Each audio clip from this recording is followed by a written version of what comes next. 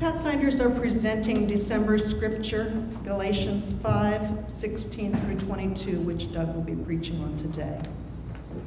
Live by the Spirit, I say, and do not gratify the desires of the flesh.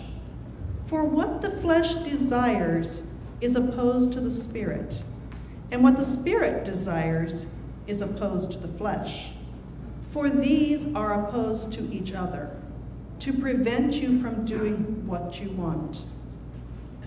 But if you are led by the Spirit, you are not subject to the law. Now, the works of the flesh are obvious fornication, impurity, licentiousness, idolatry, sorcery, enmities, strife, jealousy, anger, quarrels, dissensions, factions, envy drunkenness, carousing, and things like these. I am warning you, as I warned you before. Those who do such things will not inherit the kingdom of God.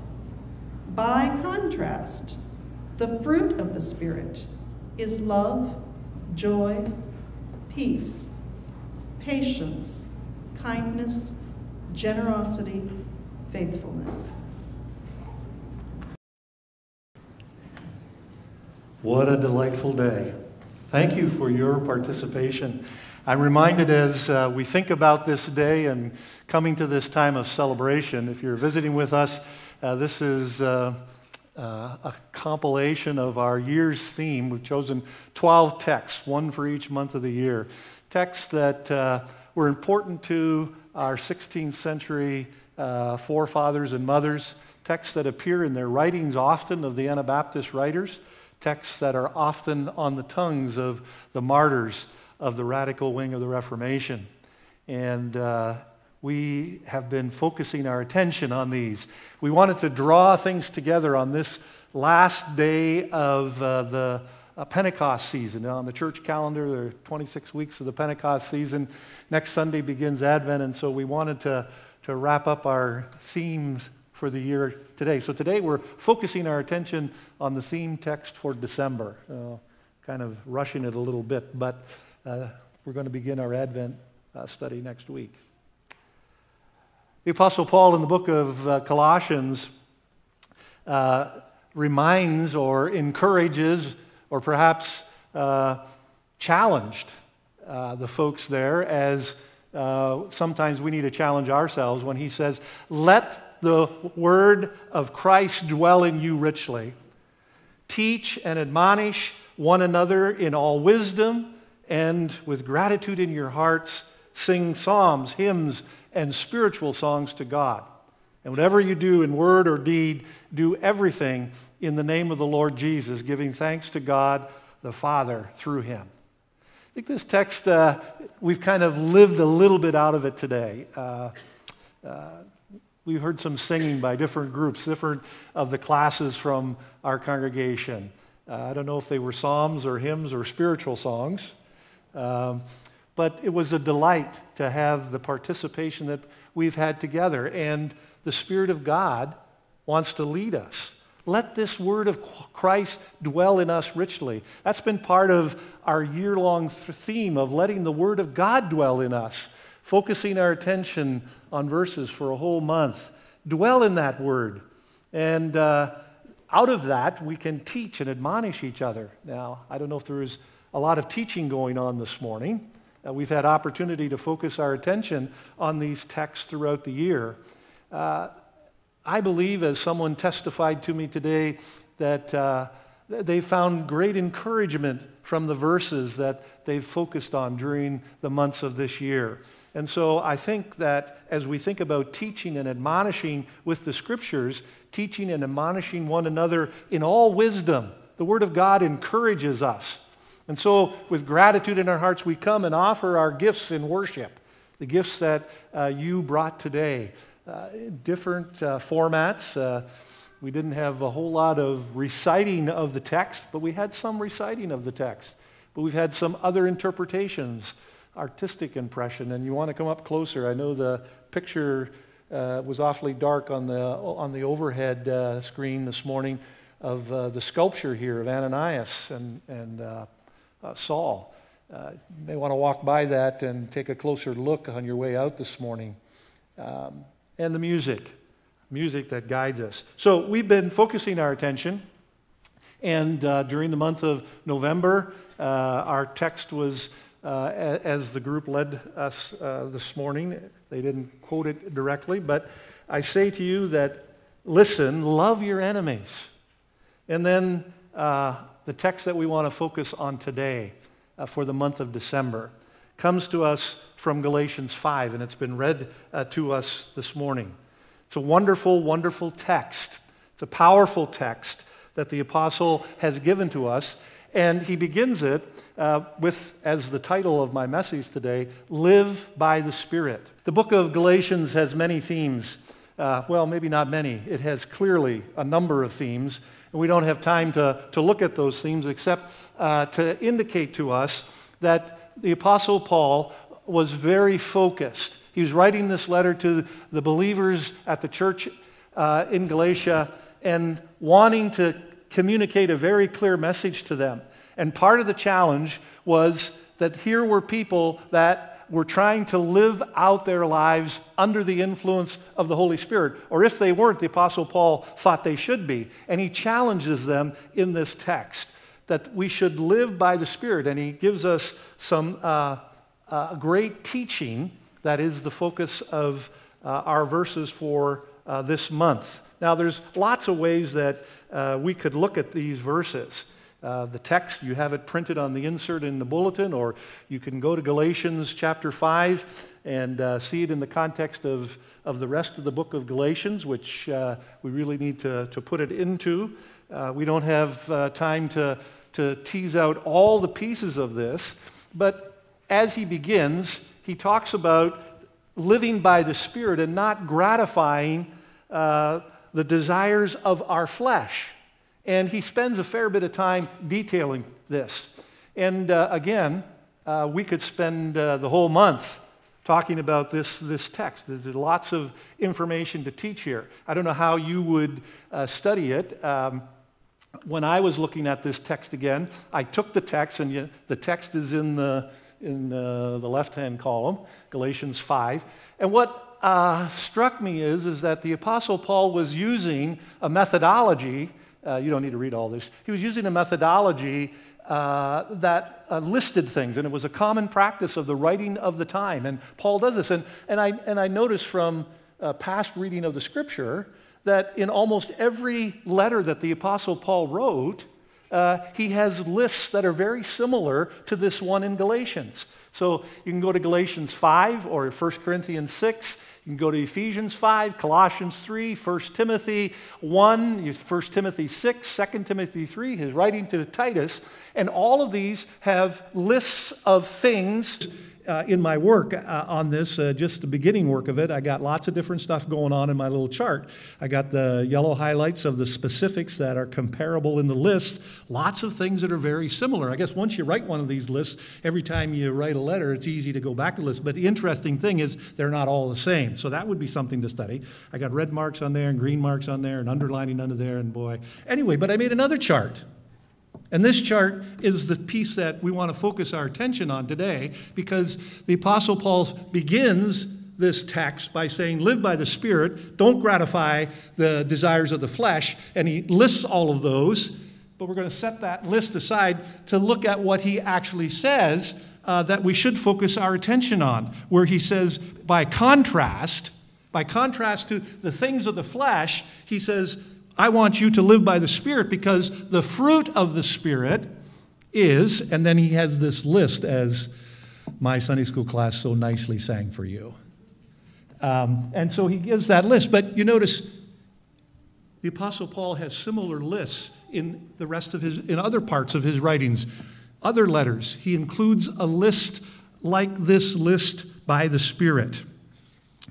So he's challenging us uh, to, to live our lives in such a way that the Spirit has control, that the Spirit of God can do the Spirit's work in us. And that work is, is to produce love and joy and peace and patience and kindness, generosity, or in some translations, it's goodness. We're using generosity, uh, faithfulness, gentleness self control. These are the things that the Spirit of God is going to work in us. It was interesting uh, that we are told, uh, and it's, it's in the writing of the historical, if you study the historical writings, the fruit of the Spirit marked the lives of many of our Anabaptist foreparents. They were known as people of love and they were known of people as peace.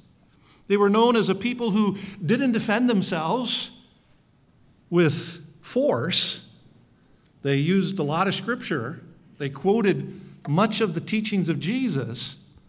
But rather than use force, they were willing to submit to others rather than to seek to dominate others. by and large. And, and it is recognized even in the writings of their enemies. So you can go to people who were writing against the Anabaptists of the 16th century, and they'll remark of the moral standings, the high regard for their lives, and the fact that much of this fruit of the Spirit was evident in their lives. Wow. Well, we sing and we know we talk about this fruit of the Spirit. There's fruit that the Spirit of God wants to produce in us. Now, this is the real point here. The moment you became a Christian, the moment that you submitted your life to become a follower of Jesus Christ, the Holy Spirit began to produce Christ's fruit in you. The moment you became a follower of Jesus. And it doesn't matter who you are. You could have grown up in a family that was in church every Sunday. You might have, you might have, you might be a person. Uh, you know, in my self-righteous moments, I, I pride myself in being part of such a family. And thank God for a great tradition. Every time the church doors were open, my father was not a preacher. Far from it. But every time the church doors were open, our family, we didn't live close. As a matter of fact, for most of the years of my life, we lived more than 20 miles from the church. But we were always there. Uh, we prided ourselves on being dairy farmers, having milked the cows, and being there on time. As opposed to, well, you see, there I'm getting into my self righteous mode. Those folks that lived next door to the church and couldn't seem to get there on time, didn't have any chores to do, all they had to do was shovel the walk. Well, not on a day like today. Did you notice that? I thought we were going to have to shovel this morning. Didn't have to do that. Isn't that wonderful? Anyway, those are myself. But it doesn't matter if you, you could be you could be a self-righteous person like I was and have but as soon as I became a follower of Jesus, the Holy Spirit began to do a work in me. Or you could be like we've described sometimes people who are they, they grew up in a community, in a family that knows nothing about God. They don't go to church. Um, they're good people.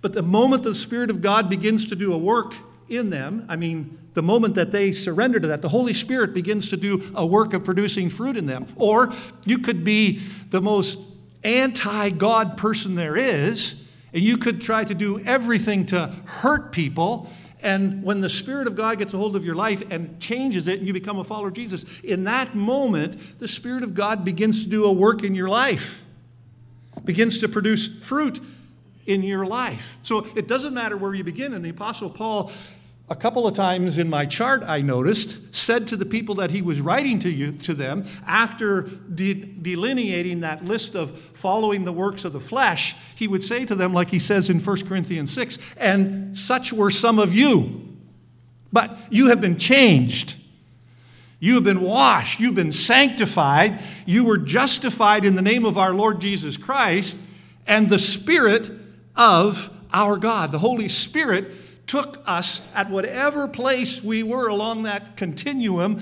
of activity of self righteousness to anti God and began to do a work in us. And the Spirit looks to Christ in order to find the blueprint for your character. The Spirit will immediately begin helping you experience and practice the same love that Jesus had when he laid down his life for his friends.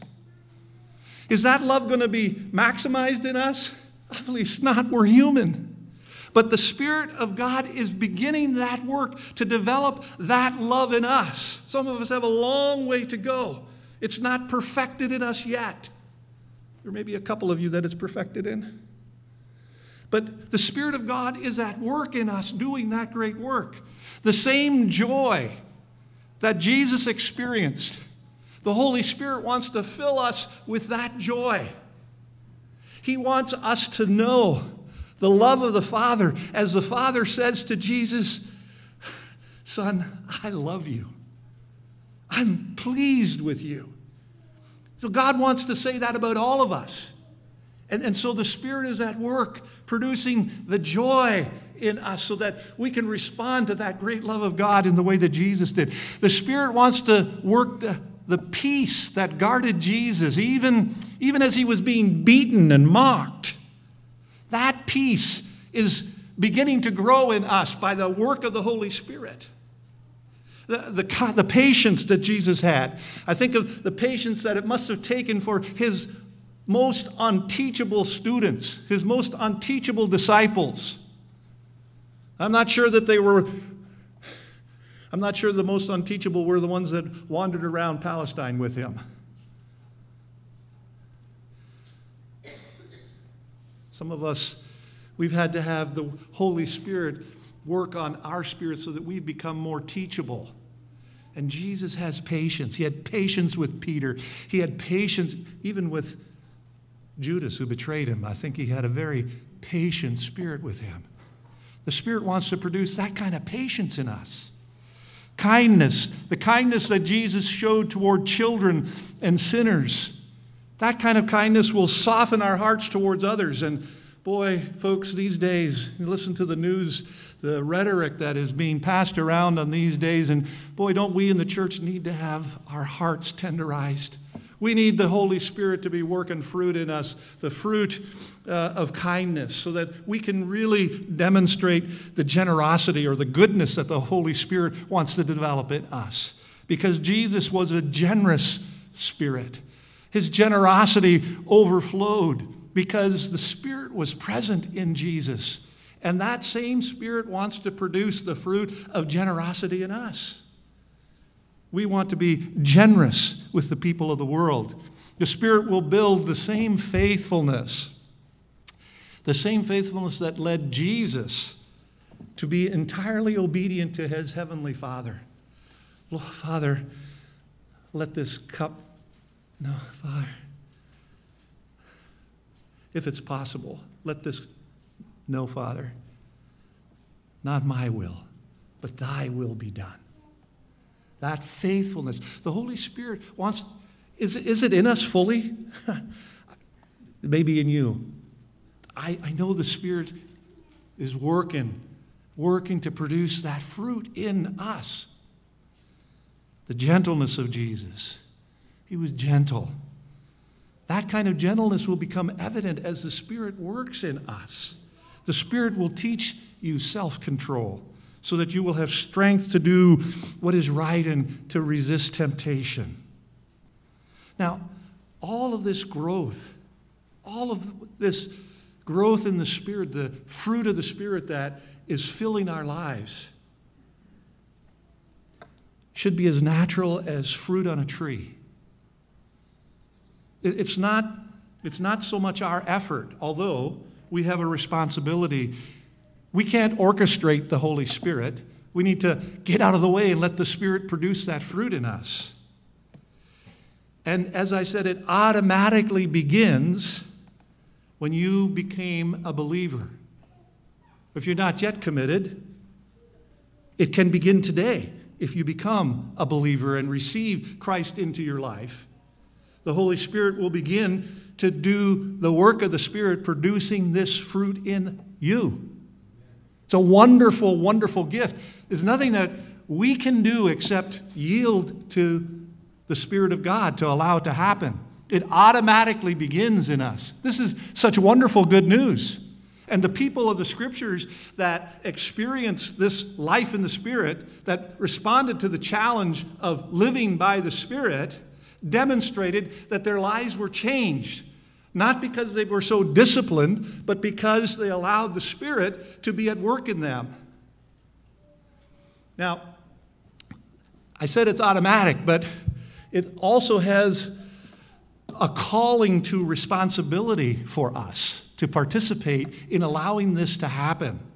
How quickly it happens, how that fruit grows in us, how long it takes for it to become mature in us depends on how completely we yield ourselves to the Holy Spirit's activity.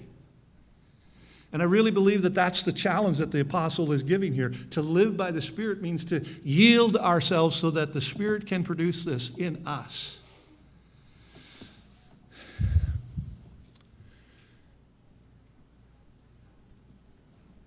I watched this happen. Miriam's father loved to work in the orchard, particularly in his retirement years. And the orchard responded to, to his yieldedness to the, to the work of, the, of tending to the orchard, trimming the trees, taking care of the fruit, and there was an abundance of fruit. When my father in law passed away, nobody gave those orchard trees much attention, and some of you know what happens. Now, the trees are still producing fruit. Some of it's not, not very attractive. It's fruit. But you see, there's nobody yielding to it, there's nobody tending to it. That seems like such a, a simple thing, that it's not. It's complicated, it's challenging, but I believe that the apostle has put his finger on this when he says that we should live by the Spirit. And it happens, the freedom that the Spirit has to work in us is controlled by, I hate that word control because you can't control the Spirit, but we limit, we limit the activity of the Spirit by not yielding fully to it. Yielding to the Spirit to allow the Spirit to mature in us.